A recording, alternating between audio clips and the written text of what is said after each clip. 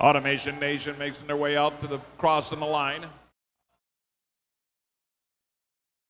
Pull the trigger on this.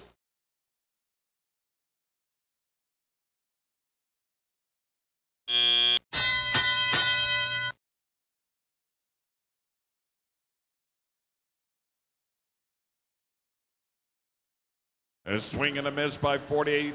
Uh, the I am robot. Riveters coming in, trying to acquire gear from their partner. Swing and a miss on the delivering of the gear. Oh, another drop.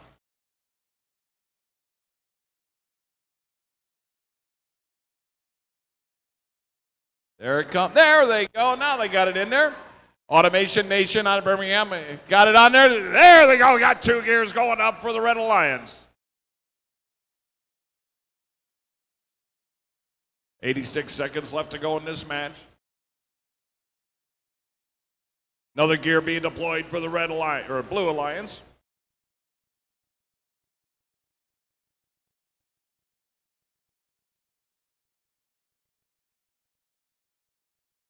A lot of gears jamming up this loading area. There they go. They got it inside the Mez team. Balls back and into the game. Automation Nation deployed at one of the hoppers. A quick 100 fuel cells on the playing field.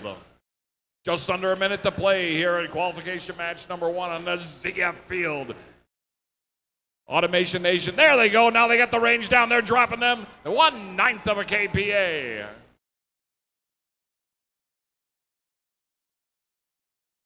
Thirty-three seconds left to go in this match. That sound gets us into the last 30 seconds. Automation Nation dumps another hopper. Ropes are being deployed by the human players up on the airship. Another gear been deployed by I Am Robot. Waiting for the ropes to come down. No, they're trying to deploy more gears.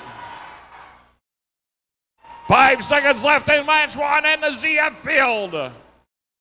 I am Robot trying to get that wrapped around, but time expires on our heroes here in match number one.